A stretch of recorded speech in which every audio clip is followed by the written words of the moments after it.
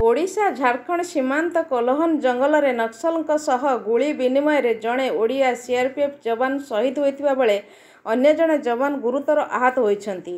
ସହିଦ ଯବାନ ସୁଶାନ୍ତ କୁମାର ଖୁଣ୍ଟିଆଙ୍କ ଘର ଓଡ଼ିଶା କେଉଁଝର ଜିଲ୍ଲା ଆନନ୍ଦପୁର ବୋଲି ଜଣାପଡ଼ିଛି। ଆହତ ଯବାନ ମୁନାଲାଲ ଯାଦବଙ୍କୁ ଗୁରୁତର ଅବସ୍ଥାରେ ରାଞ୍ଚିର ଏକ ହସ୍ପିଟାଲରେ ଭର୍ତ୍ତି କରାଯାଇଛି। ସହିଦ ସୁଶାନ୍ତ ସିଆରପିଏଫ୍ ଷାଠିଏ ବାଟାଲିୟନର ଯବାନ ଥିଲେ। ତାଙ୍କ ବିବାହ କିଛି ଦିନ ପୂର୍ବରୁ ହୋଇଥିଲା। ତାଙ୍କର ପିତା ଏବଂ ଦୁଇ ଭାଇଙ୍କ ମୃତ୍ୟୁ ପୂର୍ବରୁ ହୋଇଯାଇଥିବା ବେଳେ ମା ଶଯ୍ୟାଶାୟୀ ଅଛନ୍ତି।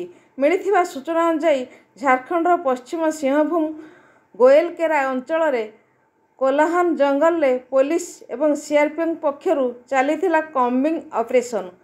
ନକ୍ସଲମାନେ ପୋତିଥିବା ଲ୍ୟାଣ୍ଡମାଇନ ହଠାତ୍ ବିସ୍ଫୋରଣ ହେବାରୁ ଦୁଇ ଜଣ ଯବାନ ଆହତ ହୋଇଥିଲେ।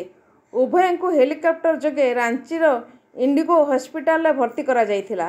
ଚିକିତ୍ସାଧୀନ ଅବସ୍ଥାରେ ସୁଶାନ୍ତଙ୍କର ସେଠାରେ ମୃତ୍ୟୁ ହୋଇଥିଲା।